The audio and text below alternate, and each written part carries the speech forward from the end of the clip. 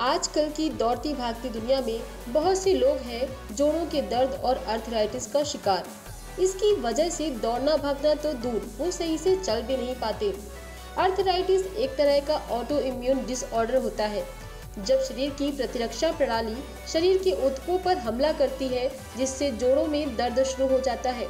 जोड़ों में दर्द, जकड़न और सूजन अर्थराइटिस का प्रमुख लक्षण है। और इसके साथ ही आपके प्रभावित अंग लाल पड़ जाते हैं और आपके चलने की गति कम हो जाती है। थकान होती है, भूख में कमी होती है और आपको एनीमिया भी हो सकता है। अर्थराइटिस को दूर करने के लिए डॉक्टर्स जो दवाइयाँ देते हैं, उनके साइड इफेक्ट्स भी हो सकते हैं। लेकिन इसे नेचुरल तरीके से भी ठीक किया जा सकता है। शरीर के ज़्यादा वज़न की वजह से अर्थराइटिस हो सकता है तो वज़न घटाने से आपको जोड़ों के दर्द से राहत मिल सकती है।